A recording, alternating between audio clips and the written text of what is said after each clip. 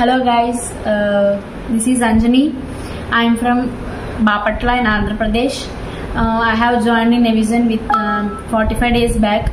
I got a very uh, very respected uh, I got a very respected trainers and experts in the in their particular domains who helps who helps me in the play in placement of TCS as an assistant system engineer trainee with a package of 3.36. Uh, thank you so much, Evision. Thank you.